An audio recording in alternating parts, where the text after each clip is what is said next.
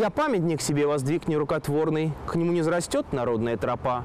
Написавший эти бессмертные строки Александр Сергеевич едва ли мог тогда предположить, что слух о нем по Руси Великой такой пройдет, что памятники воздвигнут чуть ли не в каждом городе, а в некоторых даже два, как, например, в Твери. Наш город действительно отличился. Сразу два памятника одному поэту. Оба в центре. От одного до другого пять минут ходьбы. Вполне возможно, скоро еще одним монументом лирику у нас станет больше. Муниципальные власти вознамерились увековечить память Лермонтова. Даром, что тот, в отличие от Александра Сергеевича, нашу губернию видел только что из окна персонального экипажа. А если и останавливался у нас, так разве чтобы размять ноги или поменять лошадей. Лермонтов 8 раз проезжал через Тверь. Но мы знаем, что местоположение Твери таково, что кто только не проезжал через этот город. Надо ли всем ставить памятники? В таком случае гораздо больше оснований ставить памятник Александру Николаевичу Островскому, который не просто проезжал через Тверь, который бывал в Твери, который даже оставил описание вот тверских мест в связи с тем, что участвовал в экспедиции по поволжским городам, которую затеяло Министерство морское. И он был одним из участников этой экспедиции, а именно вот по Тверской губернии. То есть э, полагаю, что это очень натужный проект и искусственный. Так что тверской интеллигенции сразу стало ясно, откуда ветер дует. И дело не только в 200-летнем юбилее со дня рождения поэта. Как обычно, при советской власти бывало, да, очередной юбилей. Здесь 200 лет поэту. Как-то надо увековечить. А тут еще и стимул был. Приехал высокий чиновник от культуры, который оказался э, потомком рода Лермонтовых. Правда, тверские средства массовой информации быстренько назвали его э, потомком Лермонтова, чего, в принципе-то, быть не могло, как мы знаем.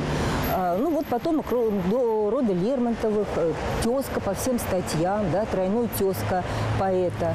И, наверное, это еще каким-то образом подогрело, э, ну, если не интерес, то желание. И думаю, что это желание все-таки было стимулировано э, каким-то образом сверху. И ведь ладно бы действительно Тверская земля была бы обделена вниманием всевозможных знаменитостей. Напротив, при желании можно составить длинный список из тех, кто не просто совершил путешествие из Петербурга в Москву, но и жил здесь. Достаточно вспомнить Достоевского. Один из тех русских писателей, кто действительно известен на весь мир, он оказался у нас в августе 1859 года, вернувшись из ссылки. Это здание бывшей гостиницы «Гальяни» среди тверичан в первую очередь известно благодаря Александру Сергеевичу. Однако так получилось, что и Федор Михайлович здесь тоже жил. Однако, если Пушкин оставил сугубо положительные отзывы, вовсю нахваливает тамошние пармезани с макарони и яичницу. Однако Достоевский был от Твери совсем не в восторге. Сумрачно, холодно, каменные дома, никакого движения, никаких интересов. Даже в библиотеке нет порядочной. Настоящая тюрьма – намереваясь как можно скорее выбраться отсюда. И действительно, заручившись поддержкой тверского губернатора, буквально засыпая Петербург, в том числе и самого императора письмами с просьбой дозволить возвращение в столицу, Достоевский добился таки своего. Уже в декабре он и вправду выбрался из Твери. Тем не менее, филологи уверены, что эти четыре месяца – Федор Михайлович провел в нашем городе не только за написанием слезных писем под общим заголовком во дворец царю-батюшке Александру Николаевичу. Он завершал работу над э, повестью э, село Степанчикова и его обитателей и как раз держал корректуры, э, хлопотал о помещении в печать, держал корректуры. Здесь он задумывал записки из мертвого дома. Здесь он задумывал уже замысел был преступление и наказание замысел возник на каторге, но продолжение замысла как раз относится к последующему, последующему времени. И э, здесь э, как раз был задуман вариант, который называл, он для себя, э, у себя для себя именовал исповедь. То есть э, рассказ от первого лица, лица преступника. Э, здесь, э, что очень важно, Достоевский задумывал издание своего журнала, еще роман «Униженный оскорбленный». Работа над этим романом тоже, как считают э, исследователи, биографы, относится к Тверскому периоду. Да и опыт жизни в губернском городе ему потом заметно пригодился при описании провинциальных городов. По крайней мере, Перечитывая роман «Бесы», тверские филологи сразу же воскликнули – Ба, да это же наш город. Мы, э, читая этот роман, э, отчетливо понимаем, что действие происходило где? Происходило действие. Потому что пожар, положим, совершенно очевидно, это Заволжье, то есть это улицы параллельные реке. Очень явно разделяется город рекой на две части. Э, собор акцентирован. И, кстати говоря, маршруты многие, они идут именно от собора это совершенно отчетливо прочитывается, если мы внимательно смотрим э, и сравниваем э, карту Твери того времени э, с текстом романа «Бесы». Тут квартал мы узнаем то ли за Тьмач, то ли за Тверечи. Совершенно справедливо. Все это есть, конечно. Понятно, что знаменитый этот бал гувернанток происходил именно в здании дворянского собрания. Все прими... многие приметы Твери узнаются. Однако не только писатели-поэты достойны памятника на тверских улицах и площадях. В нашем городе жили и создавали представители и других творческих профессий. Например, известный художник Арест Кипренский, любивший бывать при дворе Екатерины Павловны, супруги нашего генерал-губернатора и любимой сестры императора Александра I. В это же самое время, опять-таки благодаря переезду в Тверь Екатерины Павловны, в нашей губернии творил и гений русской архитектуры Карло Росси.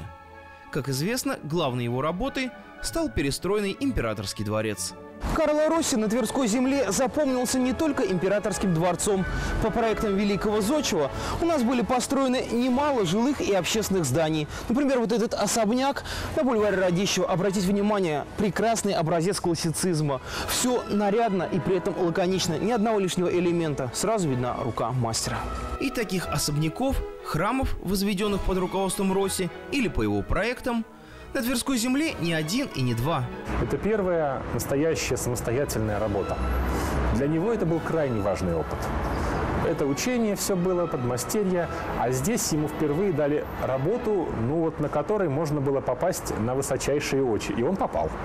То есть э, реконструкция дворца, особенно интерьеров, вот то, что сейчас, к сожалению большому, не воссоздается мы этого не увидим. Потому что когда Росси здесь э, работал, он же не ломал стены дворца. Дворец уже был. Он делал интерьеры в новейшем тогда стиле, вот этот вот ранний ампир Александровский. Именно работа Росси, она оказалась для него здесь, в Твери, ну, такой визитной карточкой. Увидев ее, Александр I заметил этого архитектора. И дальше уже для него были открыты и Петербург, и Москва, и роскошные усадьбы под столицами.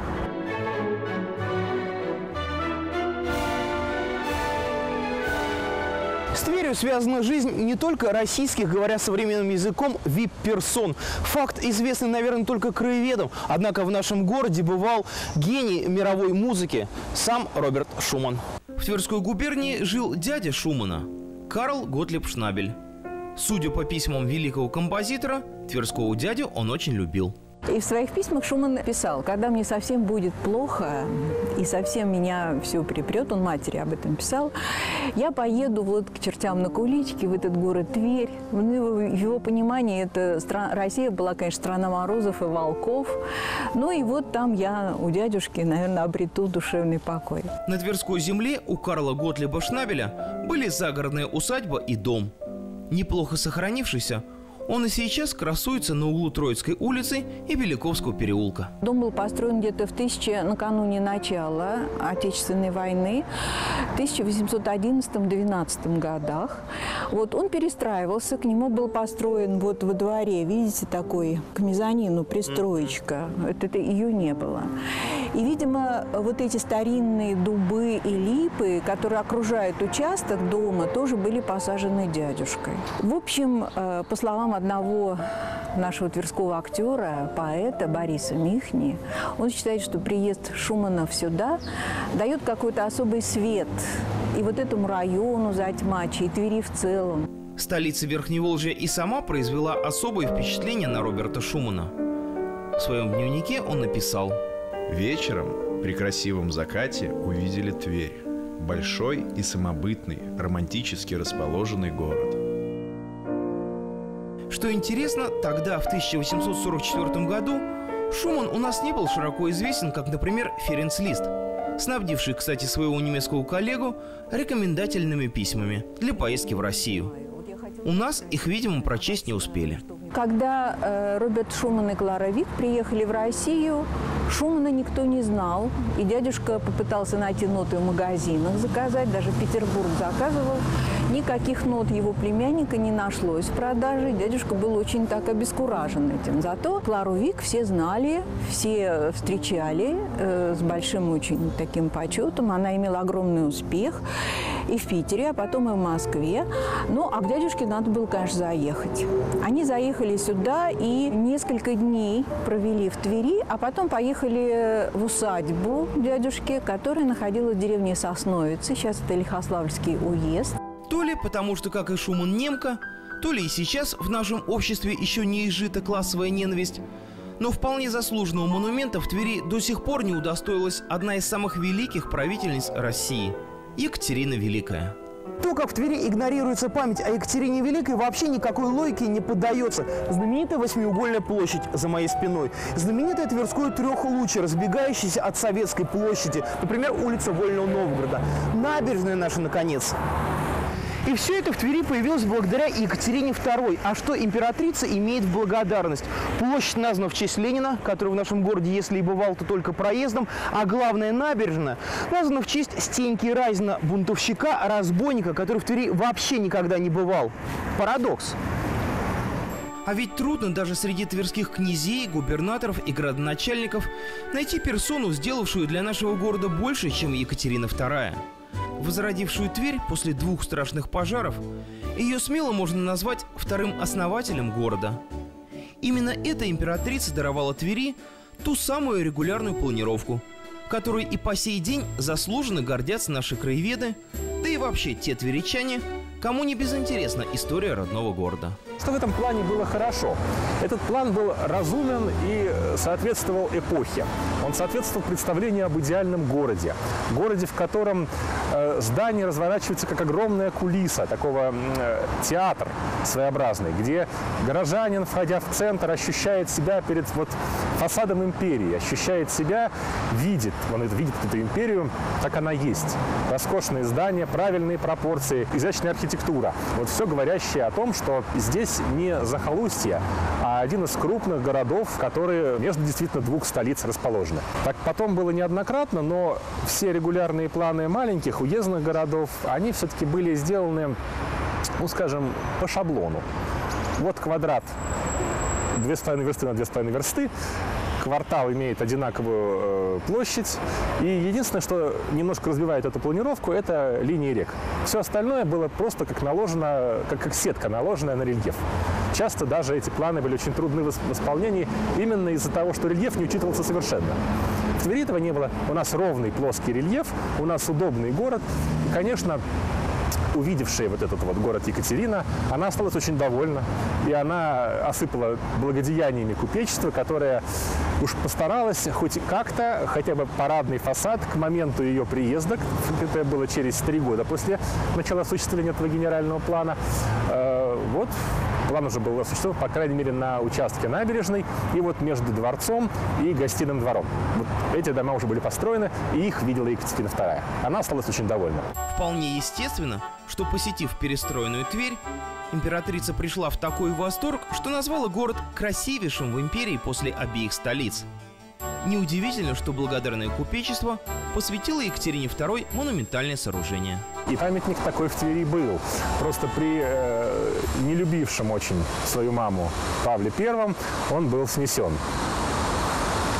Триумфальных ворот? Триумфальные ворота, да. Это были те самые ворота, поставленные на полуциркульной площади. Потом в честь императрицы поставили и другой памятник – колонну на нынешней площади Ленина. Впоследствии ее разобрали, в надежде заменить чем-то более эффектным. Однако началась война с Наполеоном, а потом как-то все забылось. Не вспоминают о великой правительнице, столько сделавшей для нашего города, и современные власти. Так же, как и не помнят об архитекторах Росси, Казакове, Квасове, Никитине или о том же композиторе Шумане. Знаете, для меня, честно говоря, полная загадка. Я не знаю. Я не знаю, потому что мы давно уже э, на эту тему и разговоры вели, и как бы кому на, в тверских памятных датах, вот есть такой альманах, который выпускается библиотека Горького, об этом есть информация. Ну вот, я не знаю, может быть, дело как-то все-таки сдвинется с мертвой точки. Во всяком случае, очень хотелось бы на это надеяться. Краеведы тоже не очень понимают странную логику наших властей при выборе памятных досок, табличек в честь тех или иных лиц, бывавших или трудившихся в нашем городе. Не всегда понятен и выбор места расположения. Взять тот же памятный знак в честь героев Отечественной войны 1812 года. Поставить памятник – это то же самое, что в старое время поставить церковь. Если хотите, э, надо думать, кто в ней будет поп, кто в ней будет приход. То есть как к ней экскурсия подойдет и что о ней расскажет экскурсовод. То есть у нас в городе есть великолепный памятник Салтыкову-Щедрину.